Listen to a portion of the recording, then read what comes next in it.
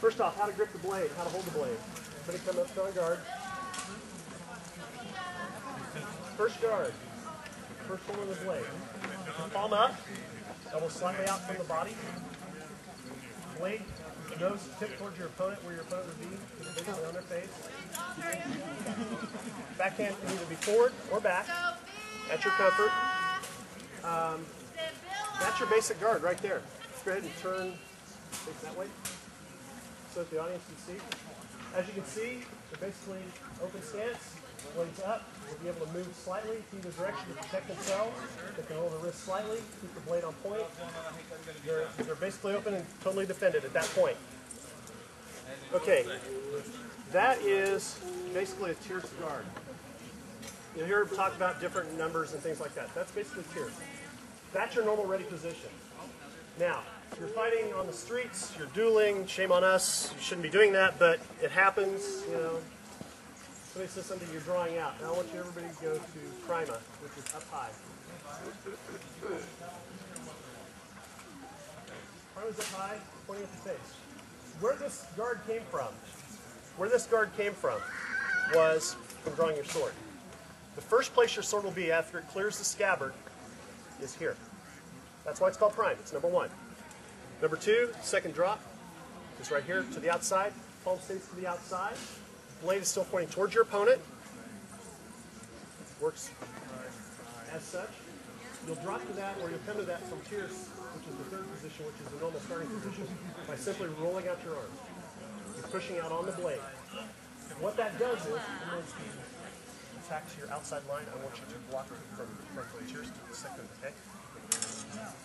As you can see, if I'm coming in here on the outside line, all he has to do is roll his arm up, extend out, and pushes the blade out of the way. If he does it quickly and hard, it'll really beat the blade out of the way, or he can go slow and do it gently. Okay? Just like that. There you go. Turn this way. So y'all can see. Okay, again, on the online, just like that.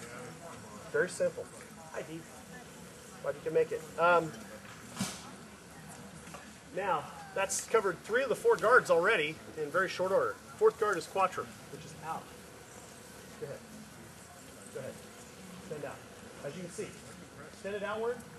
Um, the stance tends to widen just a little bit on it. Again, it's a, it's a more of an aggressive type block. You can imagine, you know, kind of an oxymoron, but it's not.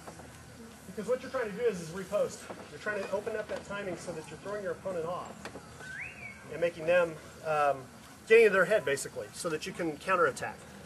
Um, okay, you all can relax for a minute. All right, um, and that's one of the things that's key is timing. The person that can control the timing, and it's just again like heavy fighting, like any other kind of martial arts. The person that controls the timing will control the battle. The person that controls the battle normally wins.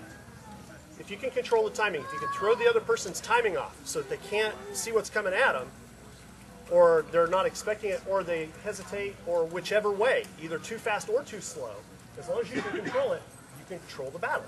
Control the battle, you normally win. Um, that's where some of these blocks and guards come into play.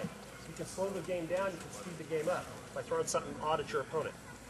Okay, um, that's basically that. Um, we've moved back and forth through the different. Okay, yeah, go ahead and move that. But, now there are four grips also. I'm just going to hit those real fast so y'all can see what we're talking about. But generally, it, it moves very naturally. It's very, very common. First grip, second grip, third grip, and fourth grip. Basically, it's direction of the palms in the hand. Basically, you're pointing in every direction you can possibly turn your hand. When you're blocking, especially in the, the when the blocks, when you're doing the, the bind type blocks, where you're actually staying in contact for a longer period of time, keeping that wrist up is a much stronger block. Now, to keep it down is faster and it gives you more length. One of the old tricks, and I always love to show this, I've showed it for years and years and years. Um,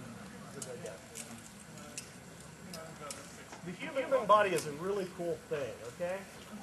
One of the things you may or may not realize, and again, this is, generally speaking, rapier is a touch type system. We're normally touching with the blades as opposed to hack and slash.